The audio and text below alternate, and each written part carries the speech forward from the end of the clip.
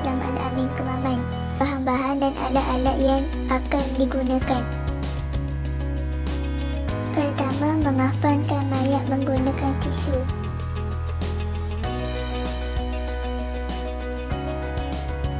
Kedua, pemasangan kepok kubur yang diperbuat daripada kabut.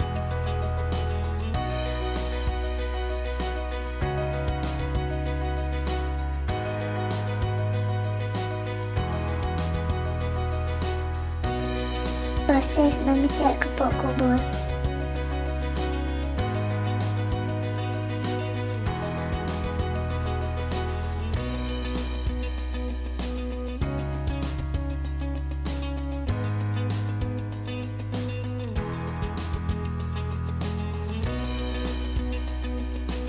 Batu nisan yang diperbuat daripada kardboard.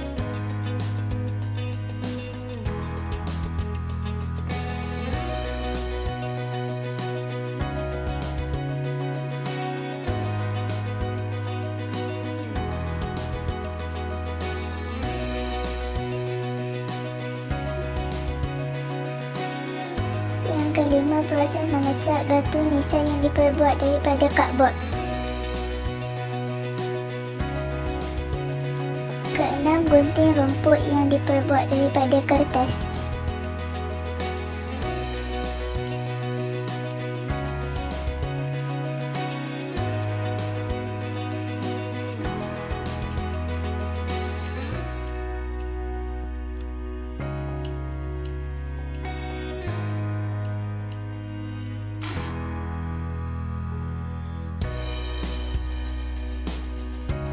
Takkan rumput yang dipotong tadi di atas permukaan tanah kubur dengan menggunakan gas.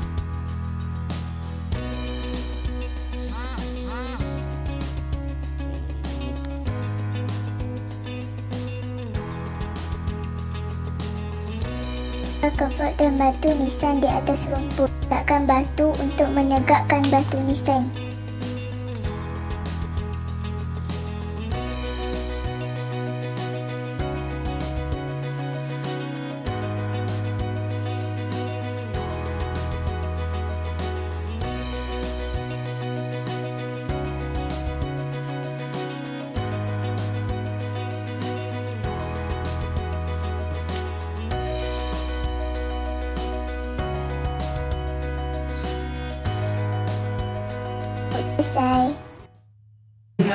Bila Israel datang memanggil Jasad terbujur di pembaringan.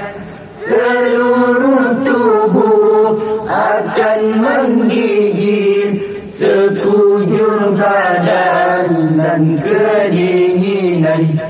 Seluruh